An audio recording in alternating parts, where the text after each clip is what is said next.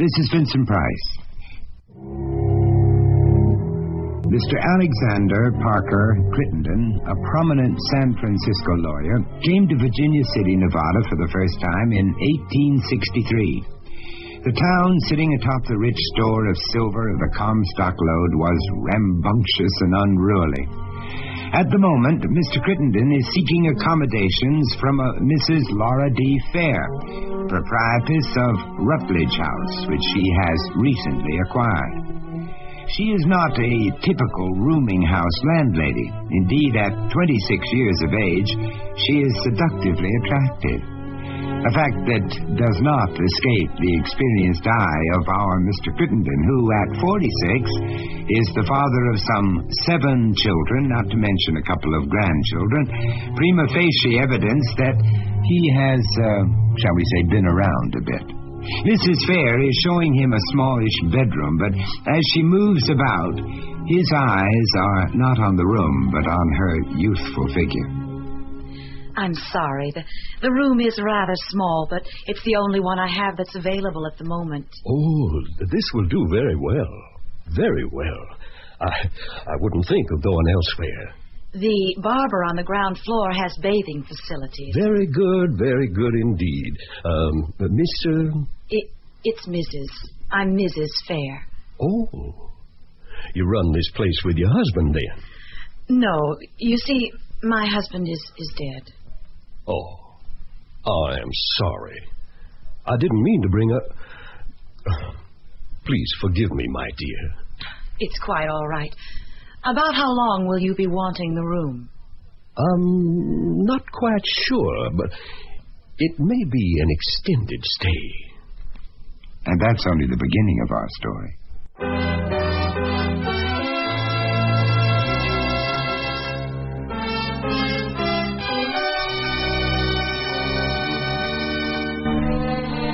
Mutual Radio Theater, a new adventure in radio listening. Five nights of exceptional entertainment every week, brought to you in Elliot Lewis's production of the Mutual Radio Theater. Our story, based on a true criminal case, Laura D. Fair, by Michael Raffetto. Our star, Tony Tennille.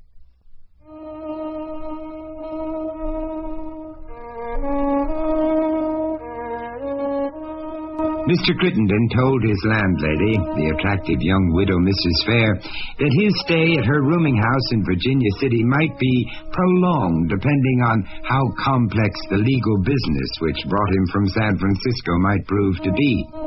He sent word to his wife in San Francisco that he was being detained by unforeseen problems in the case he was working on, but he hoped that he would rejoin her soon.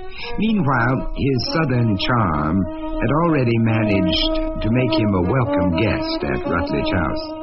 It is evening now, and he emerges from a bedroom adjoining the tiny parlor where his landlady is sitting reading a book. He closes the door quietly and comes to her side. Your little darling gave me a hug and a kiss and I took her from my lap and put her into her bed, and she was asleep almost before I pulled the covers over her. Oh, what a sweet child she is, and so intelligent. It's hard to believe she's only four years old.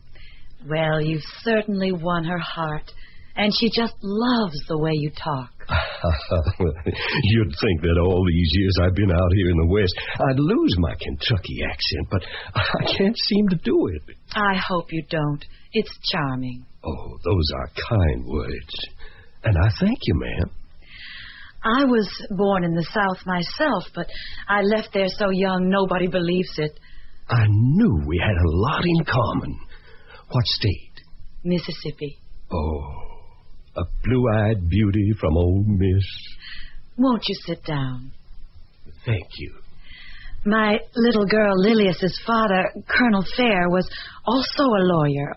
Oh, or did I tell you that? No, you didn't. Poor child. It's sad she never got to know her father.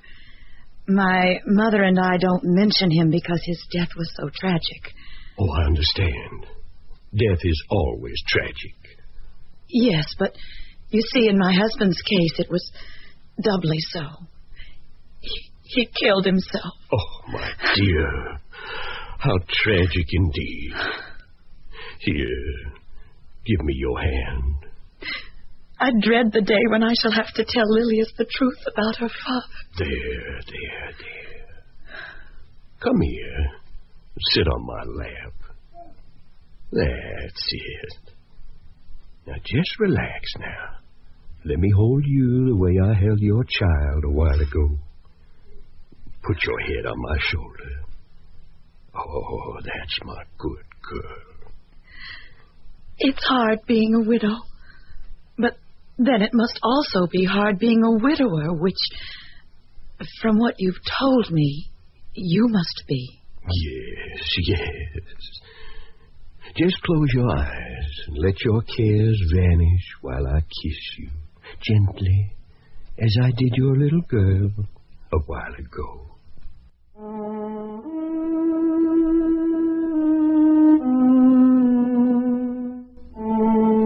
Months have passed, and Alexander P. Crittenden's legal training is proving valuable in maintaining an amicable relationship with both his newfound mistress in Virginia City and his wife of some 25 years in San Francisco. At the moment, he finds himself in the unaccustomed role of a defendant as his wife confronts him with some hard questions. You mean to say you have to go back to Virginia City tomorrow? I'm afraid I do, my dear. But you just got home from there less than a week ago. It's quite true. But as I have told you repeatedly, the situation there has become much more demanding than I ever dreamed it would when I first took on this case. Are you planning to stay at the same place? The, uh... Rutledge House? Yes. I presume so. It has proved to be quite satisfactory. Nothing pretentious, but, as I say, satisfactory. The same young woman still running it? Well, I I presume so. I haven't heard to the contrary. A Mrs. Fair, I think you told me. I think you said she was a widow? Yes, she and her mother have the place. But didn't you also tell me there was a little girl? my dear, you've lived with a lawyer husband so long you've taken on all the attributes of my profession. Do you find my questions impertinent? Oh, not at all, not at all. Have I not proved to be a cooperative witness? Well, I... You, you sound doubtful. To be Why? honest with you, Alex, our friends are beginning to talk. About what? Well, for one thing, the way our social life has been restricted of late. Do you realize how many engagements, dinners, parties, receptions, heaven knows what else I've had to refuse because you've been out of town? Now, the social aspect of this isn't helpful to you because we move in an enviable segment of San Francisco society. And I don't think it's wise for you to jeopardize our position. But how am I jeopardizing it? I'm simply meeting the demands made on me by my profession. But that's my point. Are they simply the demands of your profession? Or are they other demands? It's the latter that's causing the gossip. Well, it's malicious gossip. And in the long run, that never hurt anybody. So why don't you stop worrying? I'll stop worrying, Alex, when I can be sure that it's only gossip and not the truth. You understand? Of course. Then it is only gossip? Come here to me and let me take you in my arms. Oh, Alex. You know that I love you, don't you? Yes. I guess that was all I wanted to hear.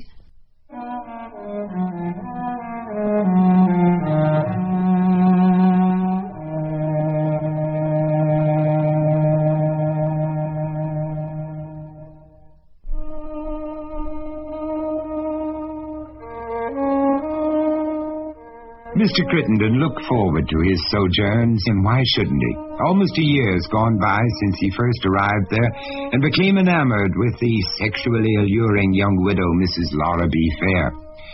Since neither of them was an amateur in the amatory field, it is not surprising that they became lovers soon after their first meeting, and with mutual declarations of love, it seemed that marriage of the worldly elderly man and the young lady of so arresting appeal was inevitable. But of course, there remained that formidable barrier, the fact that Crittenden still had a wife. How had he managed to keep that a secret, or has he? We shall see, for he has just arrived again in Virginia City. He engages a hack to speed him to Rutledge House. He hurries into the small reception room. His mistress sits behind the desk. He rushes to her side and tries to take her in his arms. She gives him a stern look and pushes him away. Please. What? My darling, what's wrong? A great deal is wrong, Mr. Crittenden. Well, I don't understand. You have deceived me. Did you hear me, sir? I said you have deceived me. Oh, come now. Let's talk this over in a rational way. Oh, no. I'll not be taken in again by your smooth tongue. Save that for the courtroom where you can charm a jury into believing what you know are lies. Well, you are being childish. I have never lied to a jury. There are subtle ways of lying, and you are a master of that. In what way have I ever been guilty of such an offense insofar as you are concerned? Very well. Why did you never tell me that you are a married man? And who told you that I am a married man? I'll not reveal the source of my information. Look me in the eye and deny that you have, at this very moment, in all the months I've known you, deny that you have a wife. I have never, never said to you that I was not married. From the beginning of our relationship, you knew that I had children, not only children, but grandchildren. Is that not true? But you led me to assume that you were a widower. I would never have permitted you to love me if I had not believed that your wife was dead. I didn't question you out of respect for her memory. Do you regret that I found you so irresistibly attractive that I couldn't restrain myself from making love to you? That is no longer relevant. That's the way you lawyers would answer that. Don't turn away from me. Look at me with your beautiful blue eyes. That's it. And you know what your eyes are telling me? No, no, no, no. Don't don't look away till you hear what I was about to say. It is this that deep within you you know I love you. Have I not spoken the truth? Please. Let's not make this parting any more painful than it already is. Oh, this is not a parting, my darling. What else can it be? It is the beginning. You alone are going to be mine forever. That cannot be when you belong to somebody else. But I'm trying to tell you, that is about to end. The process of divorce has already begun. How can I be sure that you're not still deceiving me? Time will take care of your doubts. Meanwhile, I'm I'm going to take you in my arms. Come. Let us be husband and wife. For in the sight of God, we are.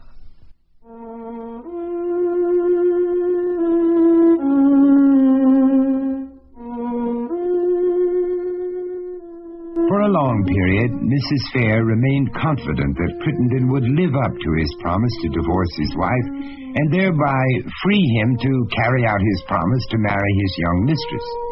Accordingly, she left Virginia City and came to San Francisco to live and to be readily available to her lover. But the months of waiting flowed by and became years, and she was still getting only promises from Crittenden that a divorce was in the offing. She grew desperate and began seeing other men, one of whom was a Mr. Snyder. Overwhelmed finally with disillusionment, she married the shadowy Snyder. Crittenden tried desperately to dissuade her from the marriage, and when she went through with it, he frantically set about to break it up. He bombarded her with letters of love, self pity, promises of everlasting devotion. As Mrs. Snyder, she at last became the dominant one, and she treasured the supplicating letters that poured in. With visions of lying in Crittenden's arms, she would read his letters aloud to herself. I must see you tonight. Say yes and let me come. I cannot wait. This night is perfectly decisive of our fate. APC. She takes another from the desk drawer where they are tenderly stacked. It is now or never. If you won't see me tonight, we shall never meet on earth. Suffused with a warm glow of pride and passion, she takes up the next note. My darling, still, yes, still, my darling. It now wants but a few minutes to nine o'clock. At nine o'clock, I shall be near you, looking up to your window in the hope of seeing your dear face again. How I do love you. His frantic pleas eventually bring results. An assignation is arranged, and they are at last together again. He persuades her that she must divorce Snyder and make the arrangements to have him followed, so that he is caught flagrante delicto with a woman of dubious chastity. A divorce from Snyder follows, and our former lovers are back where they were some six or seven years ago. But a fateful change is imminent.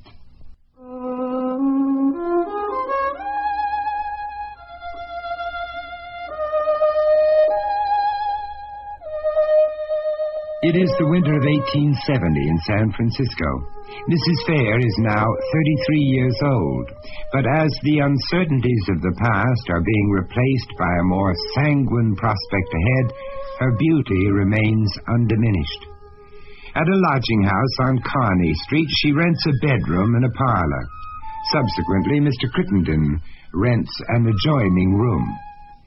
The landlady, Mrs. Letitia Marilia, said he told her he wanted the room in order that Mrs. Fair might know that he did not stay with his wife. At this moment, this is academic because his wife is in the East and has been for some time. But that situation is about to change, and the reconciled lovers are soon to be confronted again with the imposing figure of Crittenden's wife standing between them. You mean your wife is arriving back in San Francisco next Thursday? Is uh, Thursday the 3rd? November 3rd, yes. Well, that's it then. That's when she arrives. But why? I don't understand. What do you mean, why? I mean, why is she coming back now after being in the East all this time? Well, she's bringing home a couple of our children, young Parker, who's been in military school, and our daughter next to the youngest one who has been I'm staying not with... interested in your children. I'm asking about your wife. Are you going back to her and, and leave me? My dear, her coming back has nothing to do with you. Oh, yes, it has. It is very important to me. In what way? Oh, come now. I've done some acting in my time, and I recognize it when I see someone trying it. Well, I wasn't trying to act. I simply asked you a question. Tell me this. Have you missed your wife? Why, I. Look, there's no point to this cross examination. You surely can't any longer have doubts about my feelings for you. Yes, but my concern right now is your feeling for her. When she steps off the train, will you welcome her with an embrace? Or formally, as one would to a wife he has sworn to divorce? I shall act like a gentleman, particularly so in front of my children. Would you have me do otherwise? The train from the east comes to Oakland. Will you go across the bay to meet it? We shall see. Why? Because I'd like to know. But why? For reasons of my own.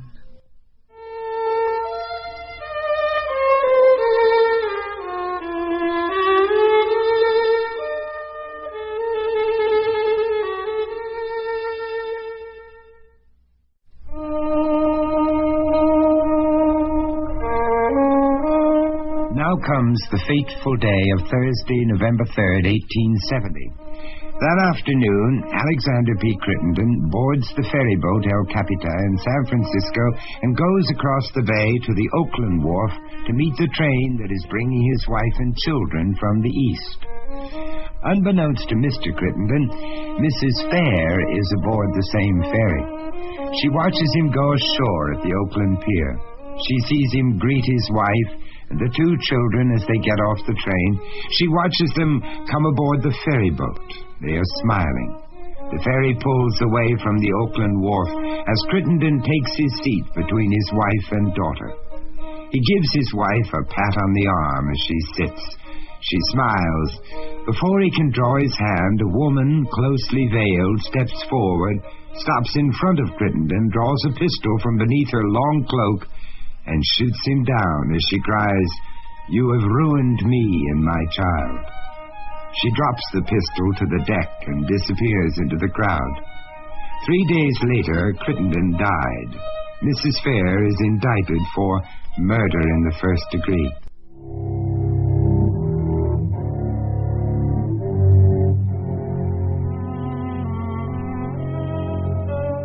This is Judge Samuel Dwinelle. I have presided in the trial of Laura D.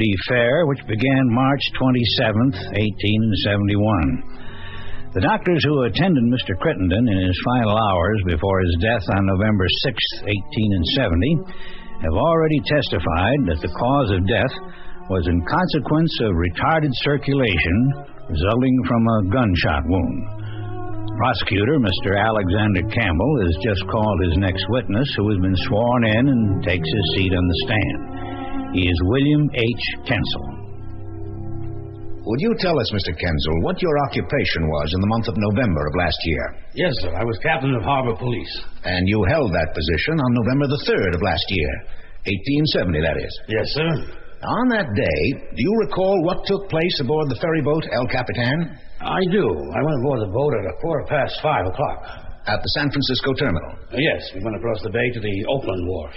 Was there anybody among the passengers that you recognized? Mr. Crittenden was aboard. I recognized him. I did not know the defendant until the evening of that day. In other words, the boat made the trip to Oakland and docked there without incident. Uh, yes, that's right. The shooting took place after the ferry boat had pulled away from the Oakland slip. Uh, just a moment, Mr. Kensel. I object, Your Honor. This witness hasn't been asked about a shooting. There's been no foundation laid for any such testimony. Your Honor, if the defense counsel will curb his tendency to cavil over inconsequential matters, I shall get on with the testimony. Your Honor, I object to having a Oh, oh, oh all right, gentlemen. Now, let's get on with this witness's testimony. Frame your next question, if you will, Mr. Campbell, so that even Mr. Cook will be satisfied. Thank you, Your Honor. Now, Mr. Kensel, let's go back to the point where the El Capitan pulled away from the Oakland wharf and headed back to San Francisco. You were aboard, weren't you? I was. Now, did anything unusual take place as the boat got underway? Yes, sir. Just after the boat left the slip, I heard a shot. When you heard the shot, what did you do? I ran to the starboard side where I heard the shot come from.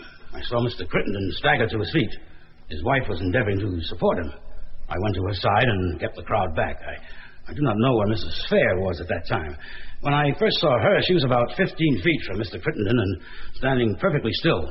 The boat captain, Captain Bushnell, handed me a pistol, and I was joined in by Mr. Crittenden's son, Parker. We went around the boat and into the cabin where Parker pointed Mrs. Fair out and said, That's the woman that murdered my father. Did she make any reply to this accusation? Yes, sir. She said, I don't deny it. I took hold of her and led her out to the after deck and kept the crowd away from her. When we got to San Francisco, I took her uh, in a carriage to the city prison. Did she offer any resistance? No, sir. All she said was she felt very bad and wanted a doctor. She said she had a doctor who lived on Kearny who'd been giving her drops for a complaint she had. Officer Barney Murray went off to see about getting a doctor because she seemed very excited. Said she was cold. How was she dressed? She had a waterproof cloak on, a brown color, and she wore a brown veil tied over her head. And I think there was a hood on her dress and over her head. Could you distinguish her features? Oh, yes. I told her to put the veil down, but she didn't try to hide her face. You stated earlier that the boat captain handed you a pistol shortly after the shooting took place. Yeah, that's right, uh, Captain Bushnell. Did he say anything to you as he handed you the pistol? He said it was picked up off the deck shortly after the shooting. I show you this pistol, which has already been admitted in evidence. Do you recognize it? Yes, sir. It's the one the captain handed me. How would you describe it? It's what we call a small four shooter. You examined it at the time. Oh, yes, sir. Uh, There was one empty charge. And three uncharged. Uh, yes, sir. Thank you, Mr. Kensel. No further questions, Your Honor. We shall recess until 2 o'clock this afternoon.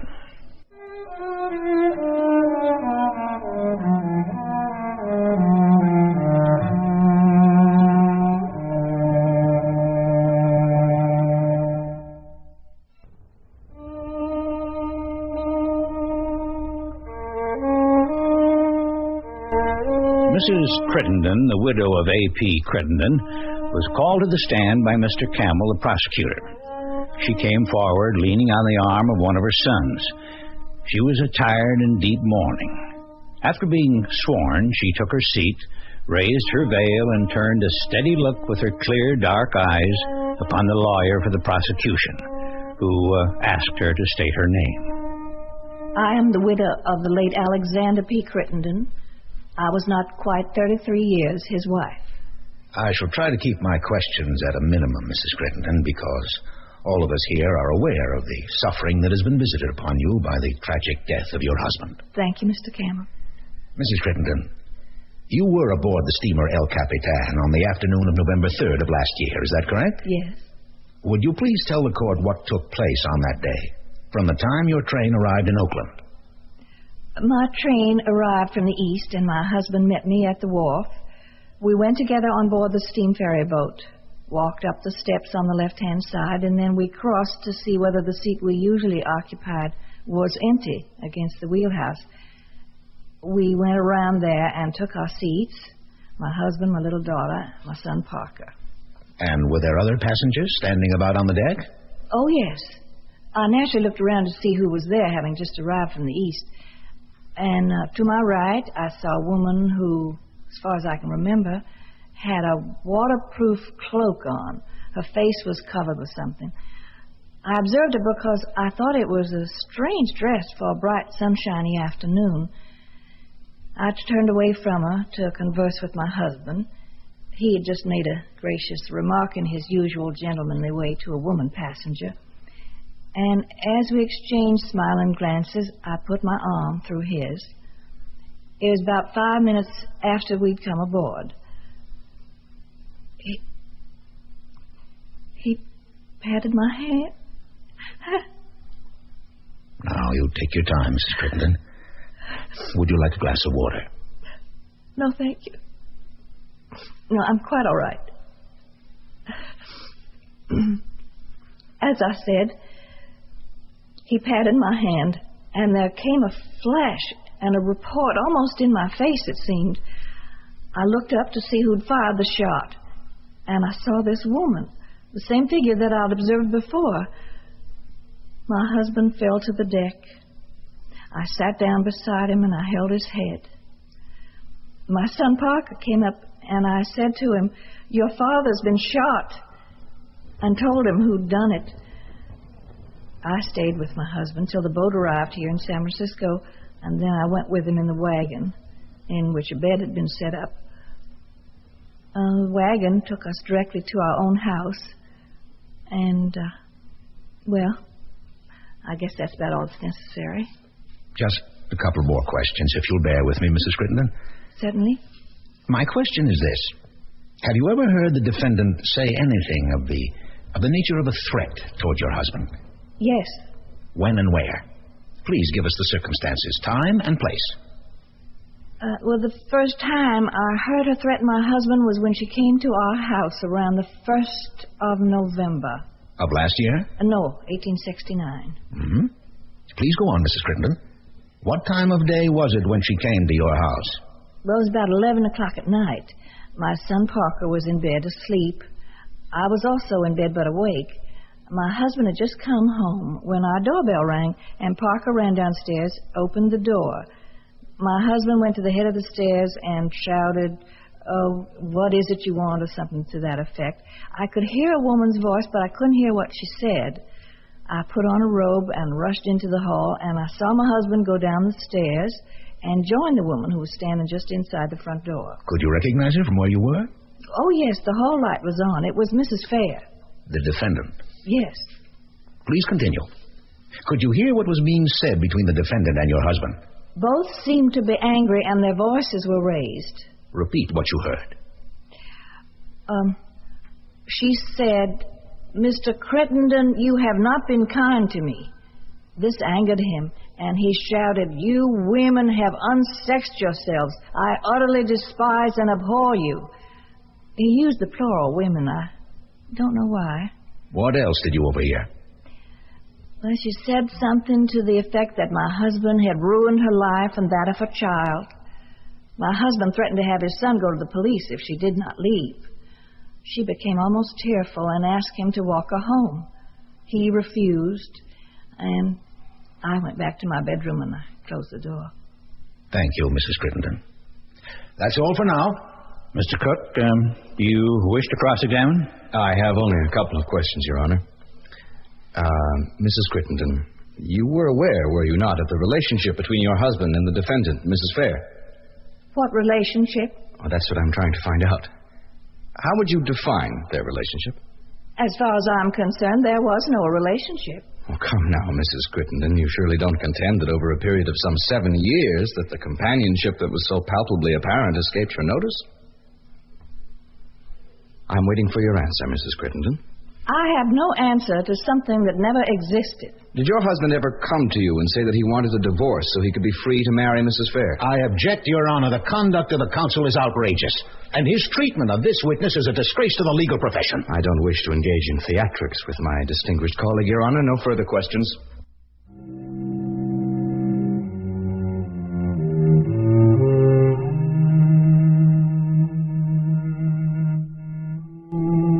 Is Judge Dwinelle again. It is the fifth day of the trial of Laura D. Fair. Mr. Elisha Cook is about to open the case for the defense. Mr. Cook, you may proceed. If Your Honor please. Gentlemen of the jury, we are all engaged and have been engaged for several days in a trial in which the defendant is charged with the murder of the man she loved. The man who had taken rooms next hers and slept there the night before he was shot. The man who, through the years, wrote her fervid, nay, passionate love letters, which we shall put in evidence for the purpose of showing the exact relations between Crittenden and the defendant through a series of years. Now, it's axiomatic that to be guilty of murder in the first degree, it must be shown that the defendant's state of mind was such that the intent to kill was there. And it's equally true that a person of a deranged mind at the time of the killing cannot be held responsible because the mens rea, the guilty mind, the premeditated desire to kill, is wanting. Such is the case here. We shall establish before you that Mrs. Fair, not only at the time of the shooting, but for 12 months before, at stated periods, was not a responsible being. She was in what was called a state of partial intellectual insanity and partial moral insanity. We shall show you that she was a very excitable and a very generous person. I will show you that her emotions were so strong that they outran her intellect, that it was as utterly impossible for her at the time Mr. Crittenden was shot to prevent it as it would be for a rabid dog not to bite you if you met him in the street. After she shot the man she loved, did she try to hide the weapon or throw it into the water of the bay just two feet distant from where she stood? No. She dropped the pistol to the deck of the ship three feet in front of her victim. Your Honor, at this point, I should like Mrs. Fair to take the stand for one purpose to identify the letter she received from Mr. Crittenden.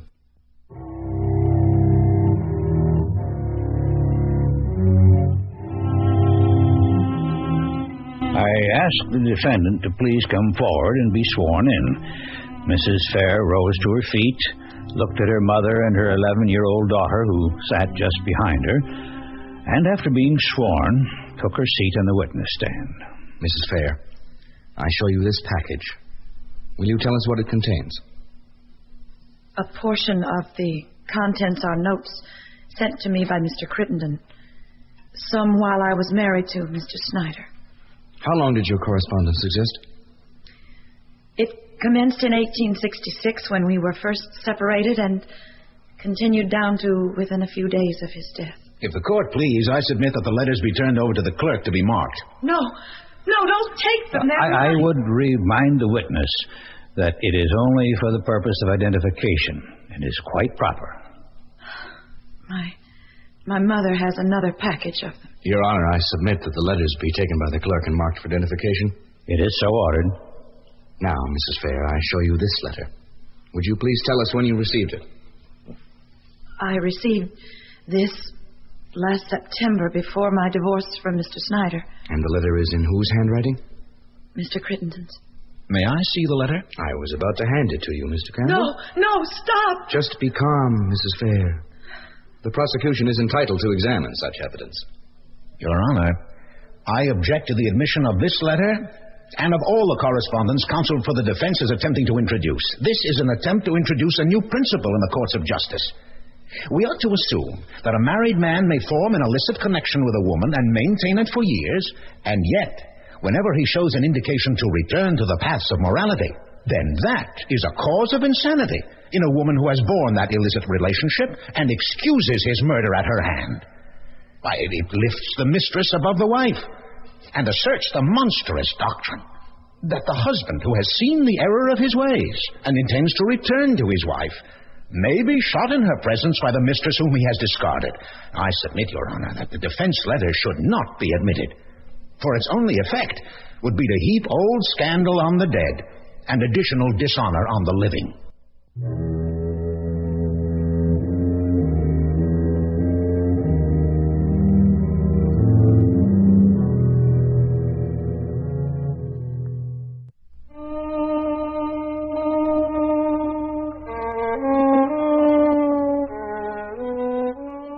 Trial continued until April 26, 1871, upon which day, after a short deliberation, the jury returned with a verdict of guilty of murder in the first degree. Four days later, I pronounced sentence on Laura D. Fair. My sentence was as follows The judgment of the court is that on Friday, the 28th day of July next, you be hanged by the neck until you shall be dead and God have mercy upon your soul.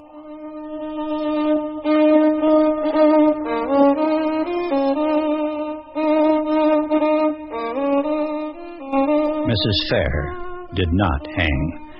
She won an appeal and was granted a new trial, which began in September of 1872. She did not take the stand, and after 17 days was found not guilty. And so, at age 35, she walked forth from the courtroom a free woman.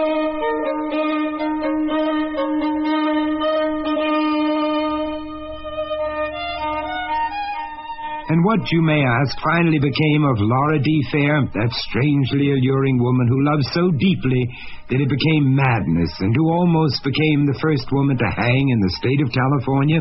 Well, one thing we can say for sure she was durable. She lived to be 82.